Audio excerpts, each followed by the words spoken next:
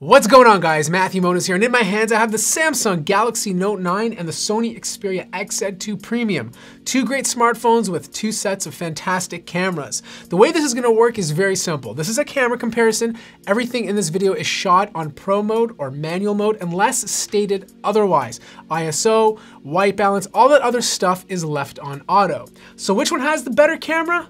Let's find out. The first picture was taken around 6.30 to 7 o'clock at night. I think the XZ2 Premium has a more pleasing photo. You see a lot more detail. However, it does blow out the highlights in the sky. You can see the clouds more with the Galaxy Note 9 than you can with the XZ2. Also, shadows on the Note 9, much too dark.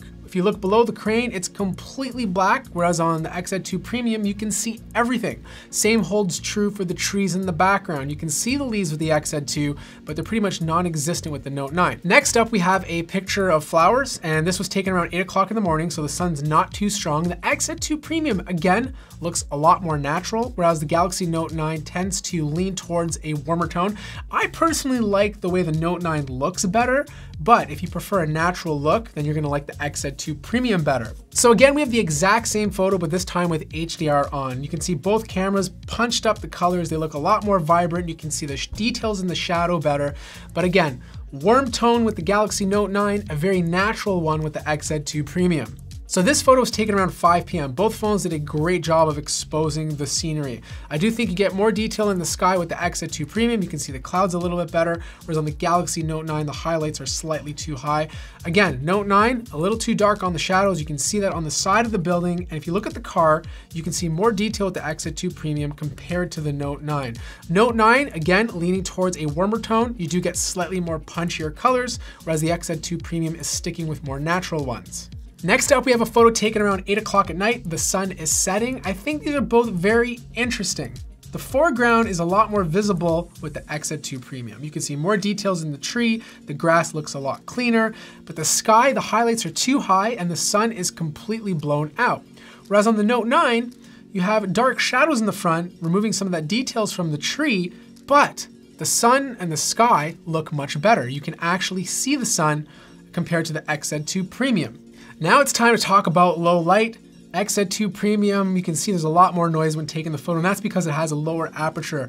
That f1.5 aperture on the Galaxy Note 9 makes a big difference. If you look at the subjects in the background, it's a lot more grainier on the XZ2 Premium, meaning it has to bump up the ISO to compensate for its lower aperture. Whereas on the Galaxy Note 9, because it has that f1.5, it is able to get more detail in the background. I definitely think the Note 9 did a better job in this situation. So again, we have another low light photo. This time I turn on ultra sensitive mode with the XZ2 Premium. I think the XZ2 Premium did a better job of capturing details. You can see that in my shirt, you can see that in my beard, and you can see that on the couch behind my back. But the Galaxy Note 9 did a better job of exposing the picture. It was able to control the light source on my cheek much better than the XZ2 Premium. And the last low light photos in a movie theater, I just wanted to shoot some lights to see which one did a better job. And just like the other two photos, XZ2 Premium bumping up that ISO to compensate, giving you a more of a warm tone to it. Note 9, slightly over sharpened, cleaner picture, a little bit more visually appealing.